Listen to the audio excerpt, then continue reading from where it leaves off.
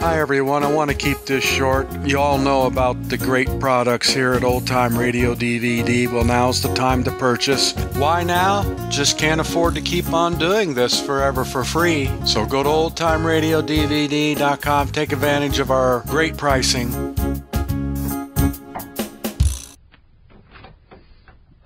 Ah, The innkeeper said I was to be sure to look in on you, sir. No matter how late. yes, Anna, come on in. Good journey? Tolerable, sir, thank you. I had some light refreshment on the train. Mm-hmm. Oh, Do sit down. Oh, thank you. Oh. Did you talk to Mr. Whymper? Yes, but sadly to little effect. Oh. However, a very short while ago, I did pay a brief visit to his lodgings while the occupant was out and discovered in his desk a roll of £20 notes. Crikey. 24 of them. I made a list of the numbers. Uh, perhaps you'll be kind enough to compare them with this list, which I obtained from Sergeant Kent. I think we may find that they're from the safe at Starvel. Gladly, sir. Won't take but a moment. Yes? Sergeant Kent, sir. Ah, come in, Sergeant. I uh, apologise for lateness of Oh, hour. no, no, no need. As you see, we're both still hard at work. What can I do for you? There's been a development, sir. No? Aye. A, a week or so ago, postmaster delivered to me a letter addressed to the heirs and assigns of the late Mr. John Roper, hmm. uh, since it occurred to him that the same might have a bearing on tragedy. Uh, I have it here, sir. Uh, as you will see, sir, it's from the Metropolitan Safe Deposit Company Limited, 25B, King William Street, in City. Yes.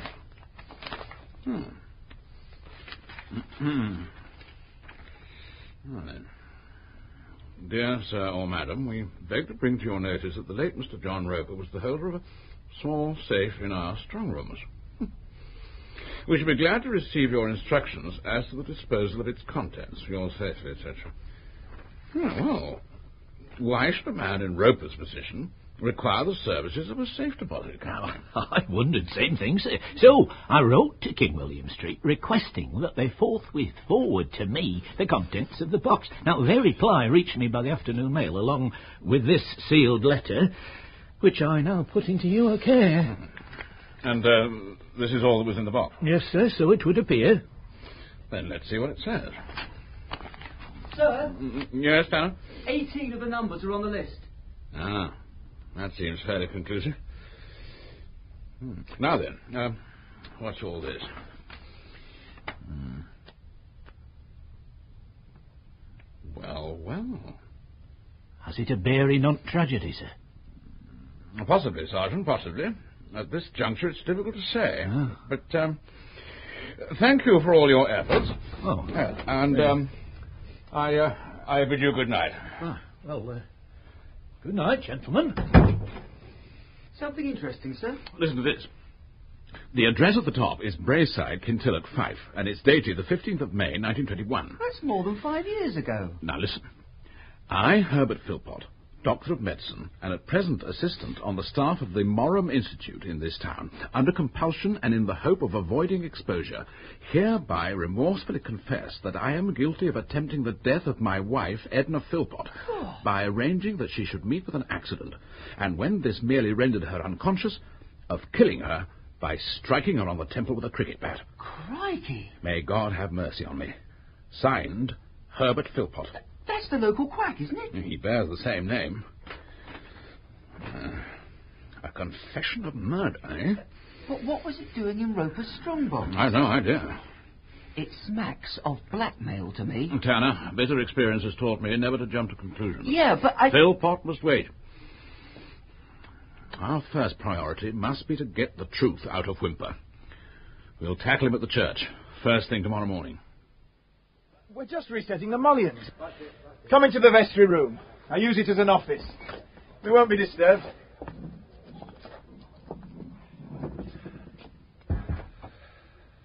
Mr. Whymper, in your desk at your lodgings in Stanhope Road are £480 in £20 notes. You search my desk. How dare you? I- I'll complain. There is no doubt that these particular notes, along with the one you cashed at Thomas Cook's, were all in the safe at Starvel shortly before the fire. Now, where did you obtain that money? I've nothing to say. Very well. Charge Mr. Whymper, Tanner. Yes, sir. Uh, what with, sir? Robbery, arson, murder. What? Yes, sir. Then we'll take him into custody. W- One moment. Yes, Mr. Whymper? I assure you, Inspector, I didn't steal the money. And, and as for murder, well, Then how did the money come into your hands?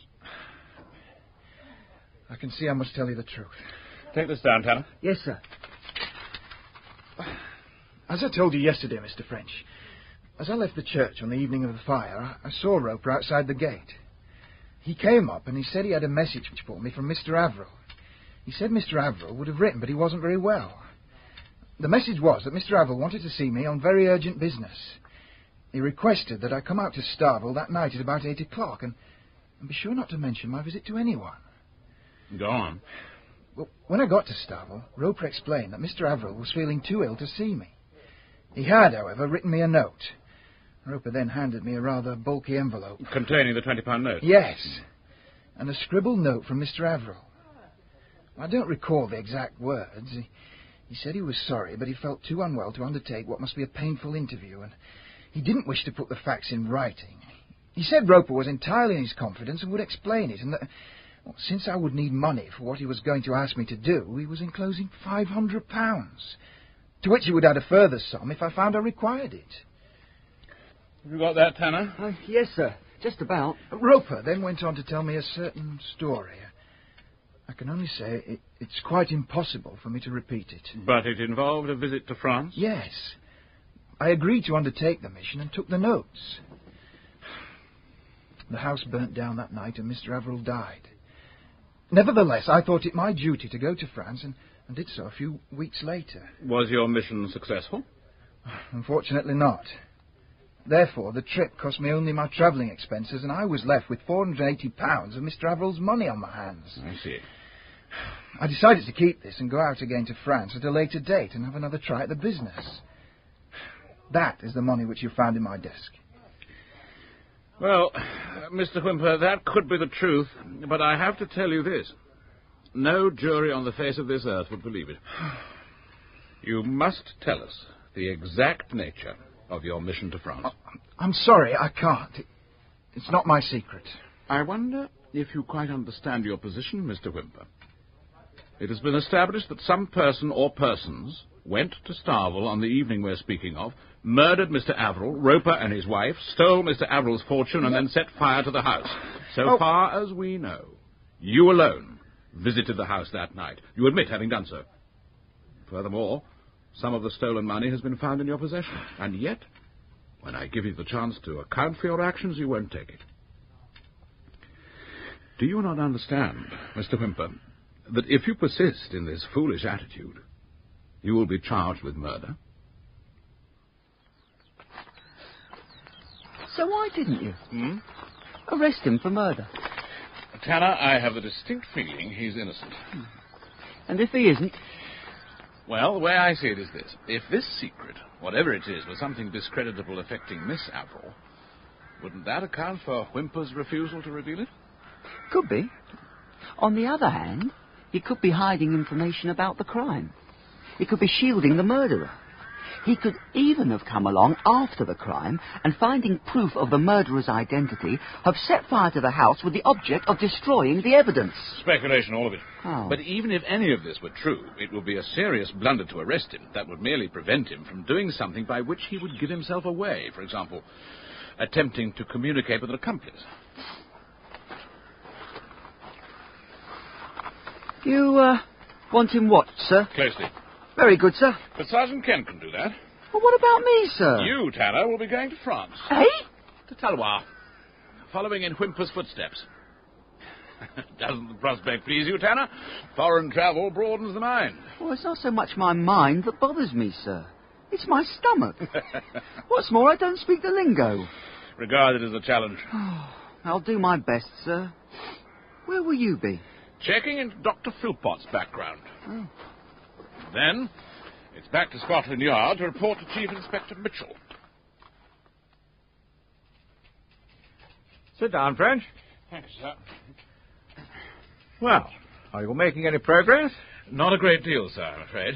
However, we are pursuing two lines of inquiry. And they are? Well, I've spoken to you briefly about Pierce Whymper. Yeah. But there's also this. A confession in which Dr. Herbert Philpott admits murdering his wife, Edna Philpott. Does he indeed? It was found in the safe deposit box of Simon Averill's servant, Roper. Hmm. Now, I have established from the medical directory that Herbert Philpott is the same man who treated Averill. I see. Now, the directory shows that between 1913 and September 1921, when he set up practice for himself in Thursby, Philpott was working as junior assistant at the Morum Mental Institution at Kintilloch, Scotland. The date on this is 15th of May 1921. Yes, that was four months before Philpott left for Thursby. Go on. At the offices of the Scotsman in Fleet Street, I searched the files for news of a fatal accident to a Mrs. Edna Philpott at Kintilloch. And? I found it sooner than I expected. On the 17th of May, two days after the date on that confession, there was this short paragraph. Tragic death of a doctor's wife. As you see, it recounts how the deceased lady in some way tripped while descending the stairs at her home. She and her husband were alone in the house at the time.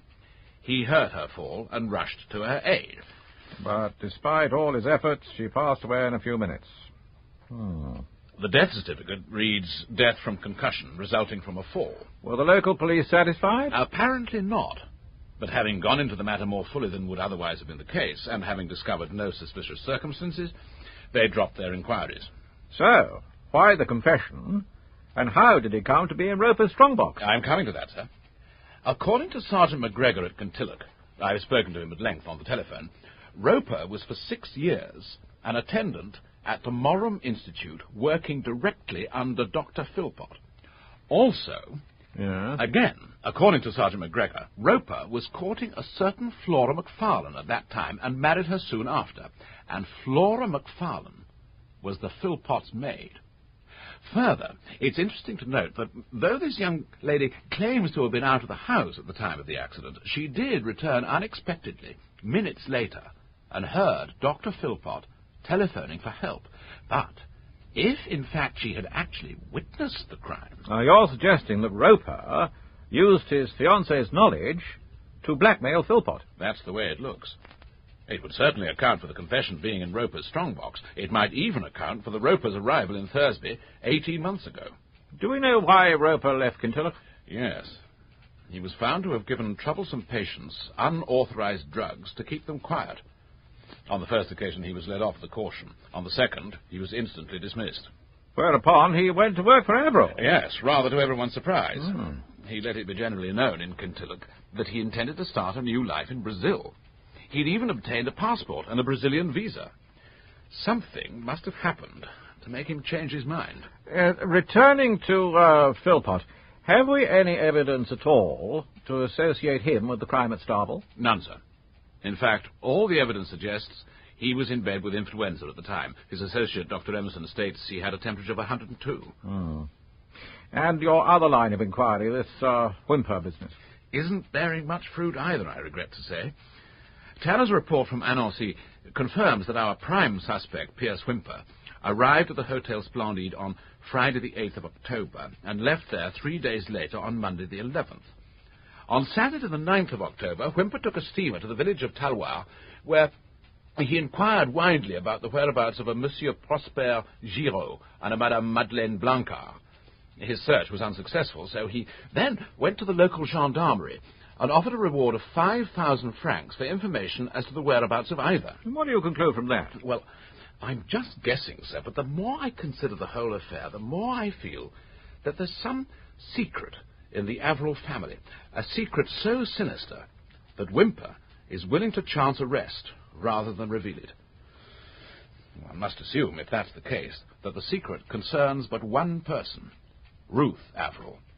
She was born in Bayonne in southern France. There may be some question about her parentage. I'm making inquiries now. I see. You're still having him watched. Oh, yes, sir. Then I think a call on Dr. Philpott's in order, don't you? See what the man has to say. I'm accused of what? Murdering your wife, Dr. Philpott. At your home in Brayside, Kintilloch, on the afternoon of the 15th of May, 1921, and I have information to support the charge. What does it consist of? A statement which alleges that you arranged the accident which befell your wife, and then, when this didn't kill her, as you'd hoped and intended, that you then struck her on the temple with a cricket bat. A cricket bat? Which did kill her. Now, will you give me an explanation, or would you prefer to reserve your statement until you've consulted a solicitor? Ask your questions, and I'll answer them, if I can. Good. Dr. Philpott, did you ever admit to anyone that you had committed this murder? Never. Then how did you come to write this? Aren't you going to read it? Or is it that you recognize the document and know its contents already? Roper is somehow at the bottom of this, isn't he? Even after his death, his evil genius remains. What do you mean? Inspector, did you know that Roper worked under me at the Murrum Mental Institute in Kintilloch? Yes, I did. Well, one day I found Roper with his arms round one of the nurses, and I said I would report him. However, when he spoke up on the girl's behalf, uh, pointing out that she was good at her job, kindly and attentive, I decided, after all, to take no further action. And from that moment, Roper hated me. I could see it in his eyes. Go on. Uh, in May 1914, I, I married and set up house in Ben Braeside. Then came the war. I joined the army in 1915 and was invalided out two years later and, and returned to my job at the Institute. After two years at the front, I, I was a changed man. Although I still dearly loved my wife, I, I found I was strongly attracted to other women. And so it happened that I in turn became guilty of the very offence about which I'd threatened Roper. I formed a liaison with a nurse at the Institute. We used to meet at night in the grounds, and one night, by fate's irony, he found her in my arms. the price of his silence was ten shillings a week. You paid him? Ah, I had no choice. It was my reputation, my career to consider, and my poor wife. I took the coward's way out. To ensure continued payment, Roper said he must have a, a guarantee. In what form? Well, he insisted I write and sign a statement to the effect that I had been carrying on an intrigue with nurse so and so at the Institute. I finally submitted even to this humiliation. And he said he'd keep the statement hidden as long as the money was paid. If it wasn't, he would send the note to the institution authorities. It would have meant my instant dismissal. How long did these payments continue? Until my wife died. About a week after the funeral, Roper called at my house and said he was sure I would see that his knowledge had now become vastly more valuable. Ah, How so? He said the police suspected me of murdering my wife, but weren't able to show a strong enough motive to take the case into court. But if he were to come forward and relate the incident with the nurse. I see. So I asked him his price. It was two pounds a week. I agreed to pay it. However, I flatly refused to write him a confession of the crime which he said he required as a guarantee. I refused to avow a crime of which I was not guilty and dared him to do his worst. Whereupon. Yes? He. He took two photographs out of his pocket. One was an extraordinarily clear copy of my confession of the intrigue with the nurse, the other a copy of that document you brought, which he brazenly admitted he'd forged. You mean to say this is a forgery? Examine it closely and you'll see. Compare it with other samples of my handwriting. Uh, This. Or this. Huh? Let your experts examine it. Oh, there's a, a superficial resemblance, yes, but that's all. Inspector French, you have my word that I did not write that letter. Say you believe me. Please. Yes. Doctor, I. I rather think I do. thank God. You left Kintilloch soon afterwards, Dr. Philpot. Yes. Life there had become intensely painful to me. I resigned and set up my plate here, here in Thursby. But every week I sent two treasury notes to Roper. What brought Roper and his wife to Thursby? Well, the, the elderly couple who had been looking after Mr. Averill retired. He advertised for a married couple to take their place. That was about oh, 18 months ago. I received a letter from Roper saying that he had seen the advertisement and wished to apply. He asked me to put in a good word for him with Mr. Averill. Well, surely you refused. No, but Roper also said that if he got the job, he would cease his demand for the two pounds a week and send me the note he had forged. I see. Mr. Averill was my patient by this time, and I mentioned Roper to him. I, I felt I could do so with a clear conscience, for well, with all his faults, Roper was an excellent attendant. Also, his wife Flora was a hard worker, and I, I believed they would suit Mr. Averill well. However, I did warn Mr. Averill that Roper had been sacked from the Murrum and gave him the reason why. And that didn't put him off? Oh, no. He thought for that very reason he could get them cheaper. Ah, I see. They were engaged the following week. Hmm. And uh, was Roper as good as his word? Yes, sir. So it seemed. He handed me the forged note, and he watched me put it in the fire. But it seems he kept a copy. Hmm. But the blackmail stopped? Yes. From then to the day of his death, he was civil when we met, and no unpleasant subjects were touched on. That, Inspector, is the whole truth of this unhappy affair.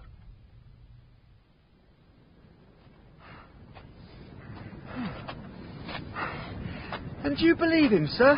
Experts at the yard have confirmed the confession was a forgery. Yeah, but who's going to pay blackmail for fear of a forged confession? Oh, I might have done so myself, Tanner. If it spared me the misery of arrest and possible trial. Besides, the episode of the nurse would have come out and Philpot's career would have been ruined. Yeah. No, no, no. I, I, I think his story is true. Uh, we must go back to the beginning. Review the circumstances in detail. I think more clearly if, if I could take a breather, sir. Ah, yeah, well, why not? I wouldn't mind a pipe. Oh. Yes, we'll, we'll shelter in that hollow. Come along. Yes, sir.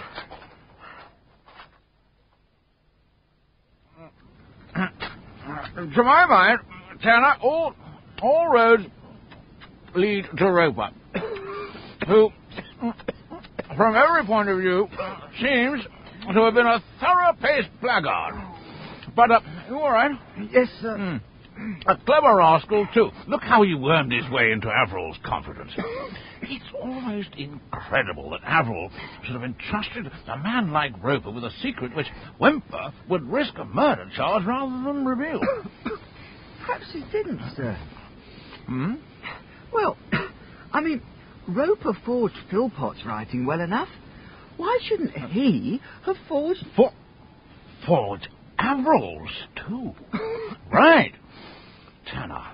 Right. Well done. Hmm. Let's pursue that thought. Whymper never saw Averill. He saw Roper, and only Roper. It was Roper who told him Averill wished to see him at Starvel the evening of the fire. Secretly. No one was to know of the visit. And at the house, it was Roper who handed him a note purporting to be from Averill, stating that Roper would appraise him of the details of the mission to Talloires. Yes, by heaven, it's possible that Roper forged that letter too. But it wouldn't have been difficult. Whymper wouldn't have been familiar with Averill's handwriting. So, Roper could have engineered the whole thing. But why should Roper send Whymper to France? I don't know. Hmm. Well, possibly as a means of establishing whether the numbers of the banknotes were known, whether it was safe to pass them. Obviously, he couldn't do so himself or make inquiries at the bank without arousing suspicion. So he arranged for someone else to do it for him. Whymper? Well, why not? I, he knew how Whymper felt about Ruth, and had some acquaintance with the Averill family affairs. Whymper's rather an unworldly young man, you know. Roper could easily have invented some story to make him his dupe. And the five hundred pounds? Well, if Roper is our man, one cannot avoid the assumption that he had stolen it from Averill's safe. Sir, the old man was in bed in the same room. Ah, well, Roper could already have murdered him. Crikey. Or drugged him. I mean, Roper was dismissed from the Morum for drugging patients. He could have, he could have given Averill the same treatment. If you don't mind my saying, sir, it's all speculation.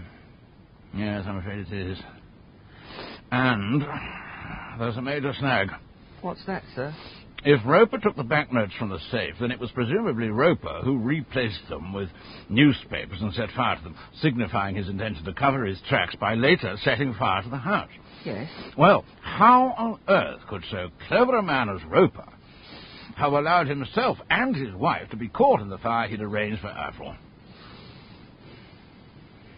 Sir, Well, there's a flaw in our reasoning. What? One thing Roper can't afford is the invitation to Miss Ruth from Mrs. Palmer Gore. Ah, so, it's back to work, Tanner. We must verify our facts. We'll divide our forces. I shall go to the church to drag the truth out of Whymper, while you... I know, sir. I get a day's outing to York.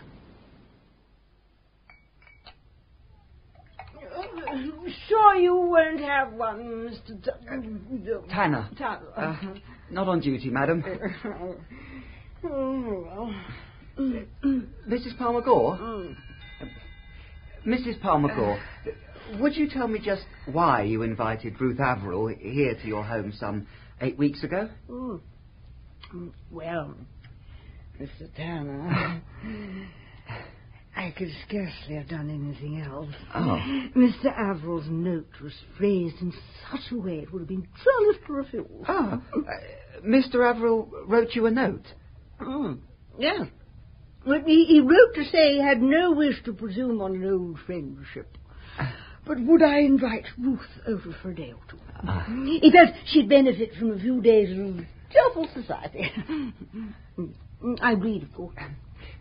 Mrs. Palmer Gore, Mm. your um, friendship with Averill, would you describe it as close? Oh, by no means. We've known each other as children. Though I was always closer to his brother, Theodore. More than age. Uh, So you were surprised when uh, Simon Averill wrote asking you to put his niece up. I was amazed. His letter was totally unexpected. Uh, Mrs. Palmer Gore, uh, have you by any chance kept that letter? I'm afraid not. I was destroy answered letters. But you recognized Mr. Averill's handwriting. Well, we only exchanged Christmas cards, Mr. Tanner. Mm, yes. I thought I did. Why'd you ask?